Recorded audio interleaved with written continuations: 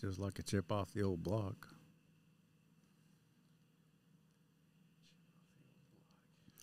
Happy birthday to me. Happy birthday to me. Happy birthday, old man. Happy birthday to me. 45 years old today. Haney's about to be 21. And it was probably one of the best birthdays I've ever had. A, I was sober. I'm coming up on 20 months sober. Uh, four months and one week in the gym. Lost about 21 or 22 pounds. You're not going to hang around? You're not going to?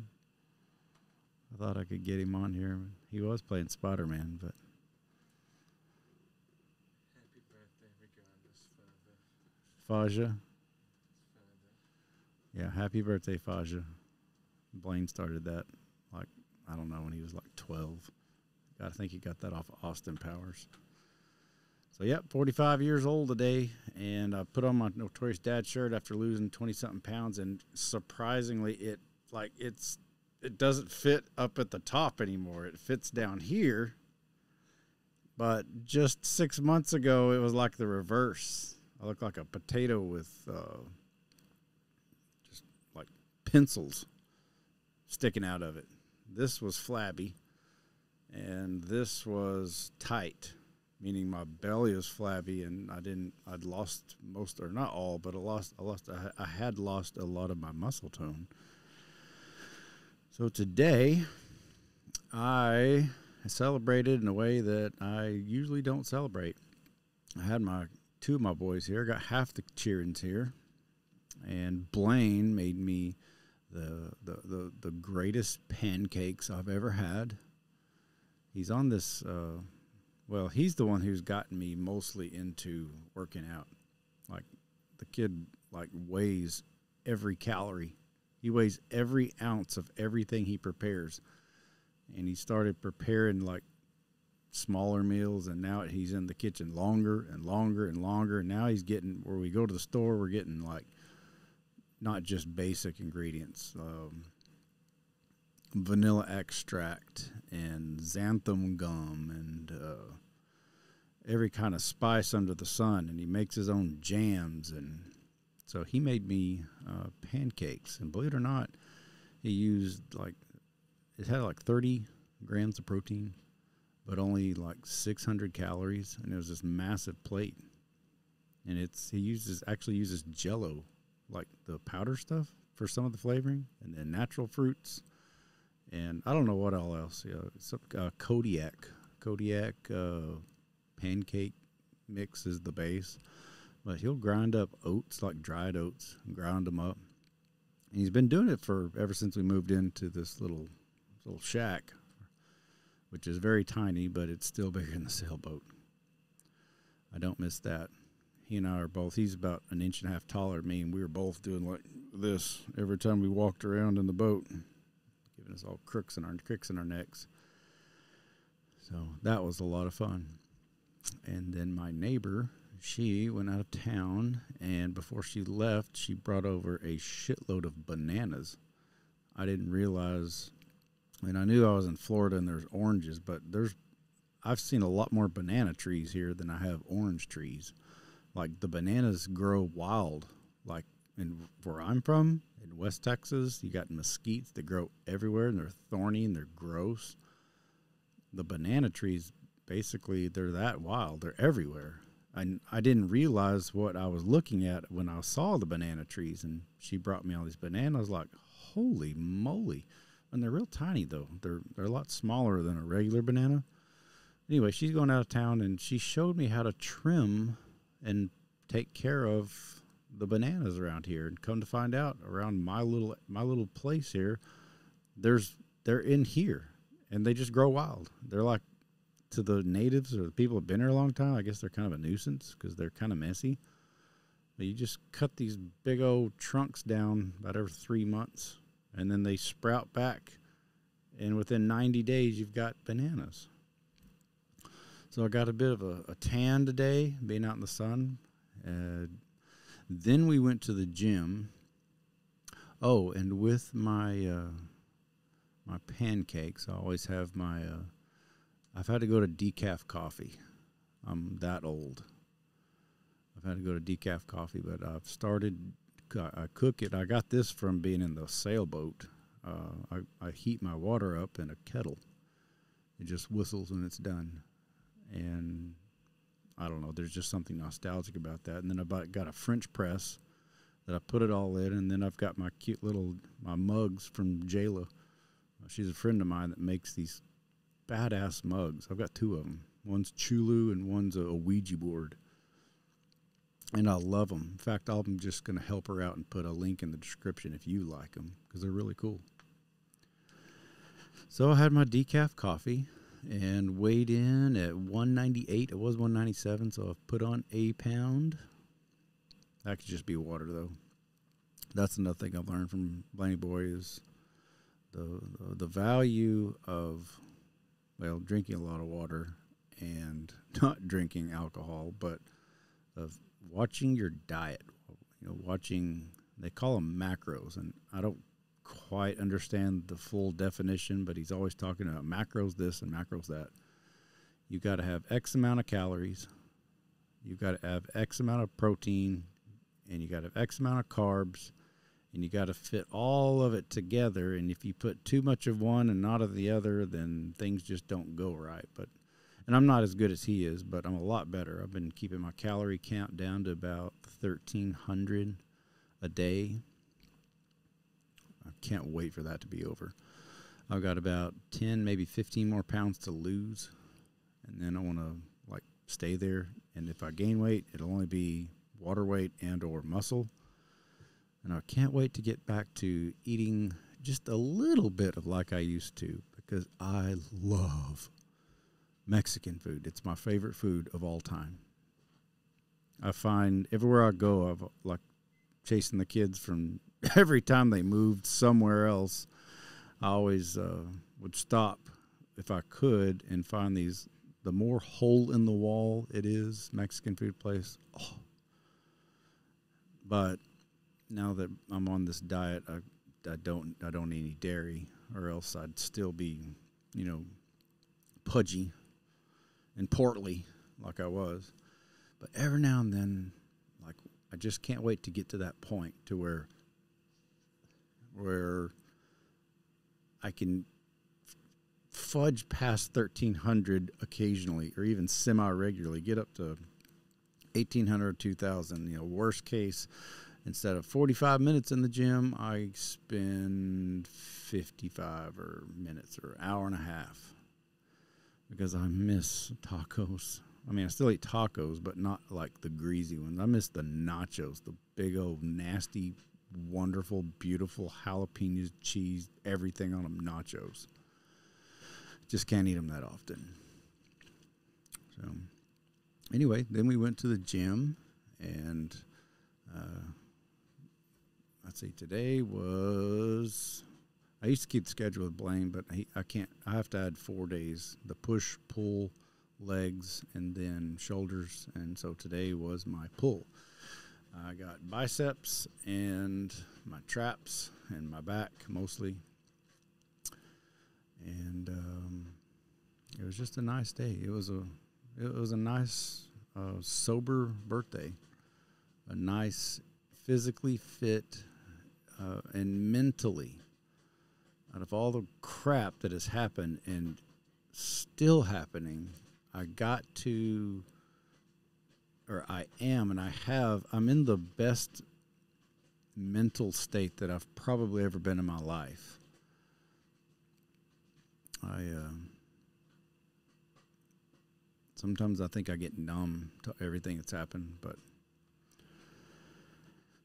sometimes I think I just want to disappear. One of these days I'm going to disappear, and y'all probably won't see me for a very long time, if ever. But for now, you just got to keep going and keep enjoying the ride. Um, the older I get, the more I realize I have got to take care of myself and make myself happy and do what I want to do. And I've come to realize that my happiness is nobody else's responsibility but my own. Coincidentally, everybody else's happiness is strictly up to them. It is not my responsibility or it's not your your your evil ex's responsibility. It's not your wife's responsibility. It's not your husband's responsibility. It's not your parents' responsibility. It's not your teacher's responsibility.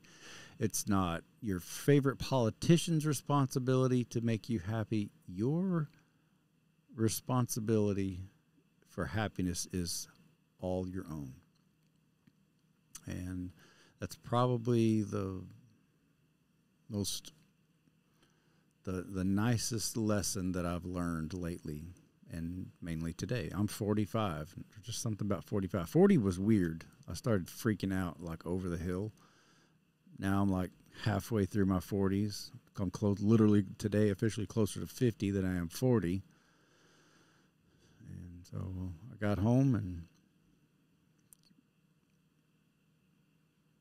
made dinner everybody just kind of makes their own dinner because our kitchen's so small, but it works for us. Started listening, lay down, listen to some '90s music. Oh, I, I, I did listen to this. I've got this little jingle that they, this song that they always play, like always play. There's like ten songs, and it, apparently it's. I never heard any of these songs until I started going to the gym. Now I've heard them every day for the last six, seven weeks that I've been here. this isn't necessarily my form of music, but it's called Big Energy by this girl named uh, Latto. And it's just a catchy little tune. And I find myself like humming along with it every time it comes on. It comes on once, maybe twice, depending on how long we stay.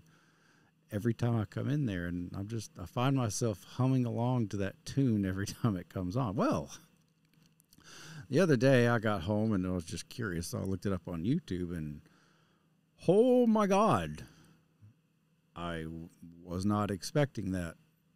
A, she's very voluptuous and gorgeous. And then you, I realized that I was listening to the, the clean version, the radio version. And so what she's saying, she's not saying big, big energy. She's saying something else, uh, big dick energy and I had no idea that's what the song was called. So yeah, yours truly's been humming around. Boy like you need a girl like me. Singing this song that I can, I know some of the lyrics, but I didn't know all the lyrics. And then, even then, what lyrics I did know, I knew the clean version. Then I saw the regular, and I'm, I can only imagine what people there were thinking. Okay, this dude's walking around singing "Big Dick Energy," and there's some other lyrics in there that are pretty vulgar and some that are I'm far too white to even mention on the internet. But I like the song.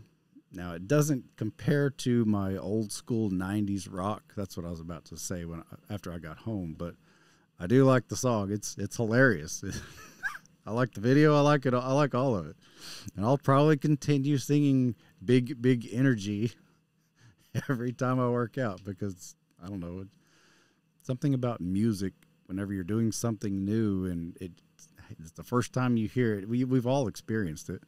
This, that's just going to be my song for the rest of my life when I'm like working out, I guess, no matter where I go.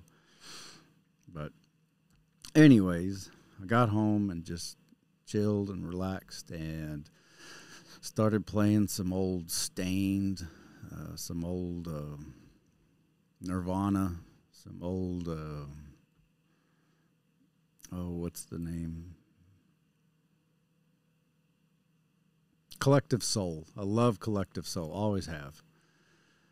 And it's just it was just a nice it was a nice fun happy birthday. So thank you out there in internet land for all the happy birthday wishes to every from everyone. Uh, it, it's nice. It's certainly nice being sober.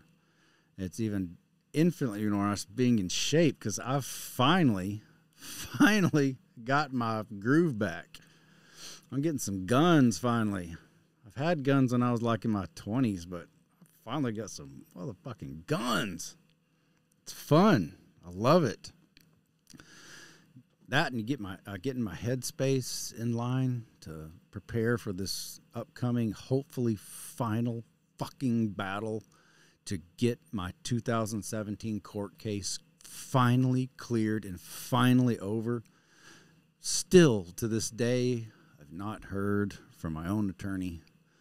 Uh, I keep getting these nice little reminders from this DocuSign uh, link that uh, the AG there, Robert Greene, I believe, sent me that I've never have signed. It's something to do with if I decided to fire my attorney, all I got to do is sign here and I can work straight with them. But er, I'm not a lawyer and something is fishy. Something just doesn't feel right. But every every morning I get that same reminder from my Gmail. Hey, Robert Green from the AG's office sent you something to sign.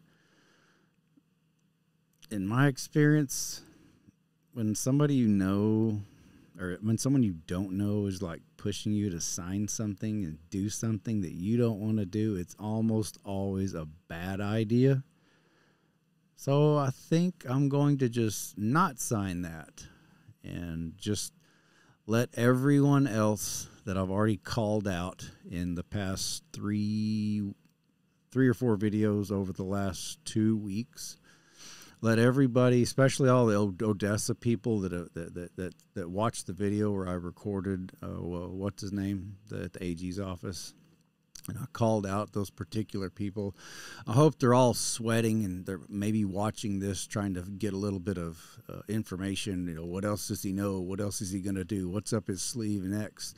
I'm telling you, the only thing up these sleeves are these guns, but anyways, it's just not real nice to be 45 and sober and still have a clear, relatively clear mind in preparing for this final showdown, this final battle, whatever the hell's going to happen with this. The AG's already played a card that I know of. They want this off their books. They've already broke the law by uh, call, contacting me. So some say perhaps I broke the law by recording. We shall see. But there's something about, well, I don't want to get into that.